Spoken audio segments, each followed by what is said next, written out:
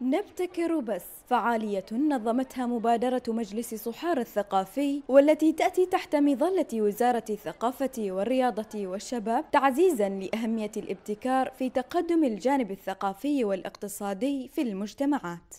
جاءت هذه الفعالية آه، بهدف آه، الاستمرار في مجال الابتكار بمعنى أن المبتكرين يجب أن يصلوا إلى مرحلة أكبر من المرحلة التي وصلوا إليها.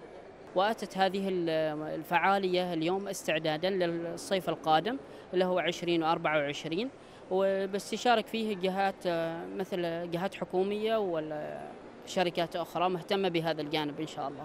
إن الابتكار يتعلق بتطوير أفكار جديدة وتصميم حلول إبداعية للتحديات التي نواجهها فقد شارك بالمعرض عشرون مشروعا طلابيا من مختلف مدارس وجامعات المحافظة. بالإضافة إلى تواجد بعض الشركات الطلابية وذلك لإبراز مهاراتهم في تطوير مشاريع مبتكرة بمختلف المجالات.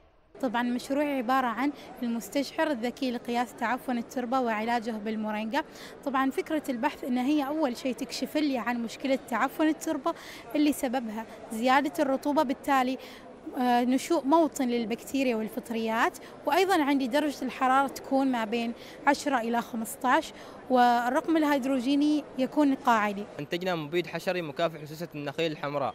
آه، المبيد طبيعي 100% يحتوي على نسبة بروتينات عالية غير ضار لا بالإنسان ولا بالبيئة. ونسبة فعاليته 95% حقيقة اليوم شفنا آه، ابتكارات آه، بأمانة جميلة جدا.